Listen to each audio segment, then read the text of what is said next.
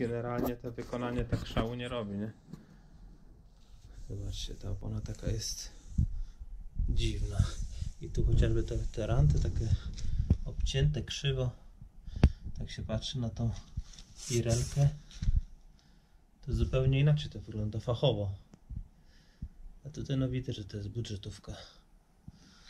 No ale nie oceniajmy jeszcze na razie, zobaczymy jak ona w terenie się sprawdzi. Tutaj w ogóle ten rant taki jest niedocięty. Nie wiem czy to jest widać. O, tutaj jest na gładko. No tu normalnie jest guma niedocięta, nie? I tak, tak, tak samo widać po tym brzegu. Normalnie jest takie, o, krzywe wszędzie. Teraz kwestia, jak to tublis dopchnie.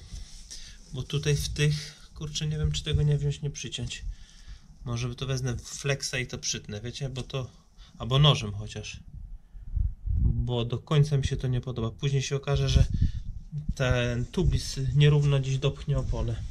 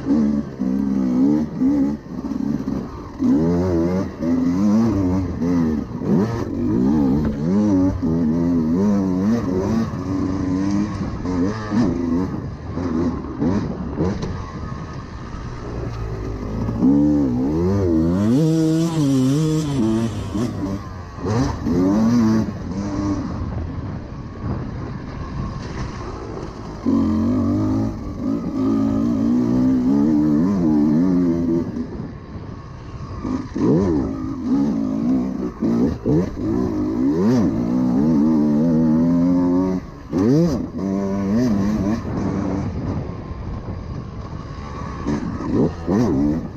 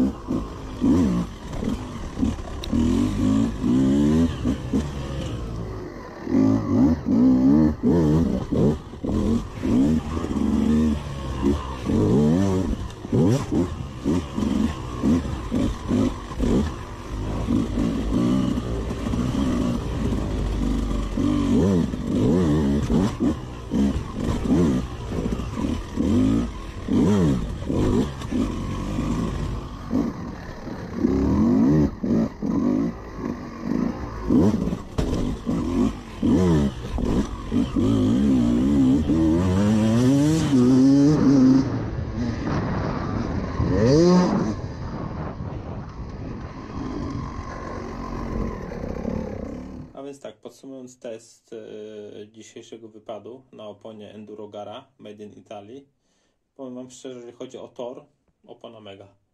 Hamowanie, zakręty, przyspieszenie, wszystko ma to co potrzeba. W lesie troszkę mi brakowało e, na trawersach. Tam miałem takie odczucie, że ucieka. I korzenie. Na korzeniach to miałem wrażenie jest mega śliska, ale to też do końca nie wiadomo, bo warunki dzisiaj były kiepskie. Generalnie jak opony za 250 zł to według mnie mega, Dzisiejsze ceny to 5,5 stówy za taką popularną oponę, to wiadomo, to jest kupa kasy, nie? I trzeba szukać jakichś alternatywnych źródeł i, i jak dla mnie ta opona nadaje się. Jest twarda, ale na niskim ciśnieniu na tublisie daje radę. W granicach 0,3 jedzie naprawdę fajnie. I najważniejsze, co można zobaczyć po dzisiejszym dniu, zużycie znikome. No nie wiem, tam gdzie z 3 godziny upalania było. Więc to nie jest tak, że namawiam, bo to każdy sam musi wiedzieć, ale generalnie e, jeżeli ktoś szuka alternatywy dla takich popularnych opon z górnej półki, myślę, że ta tutaj zdaje egzamin. Przynajmniej to na naszych terenach.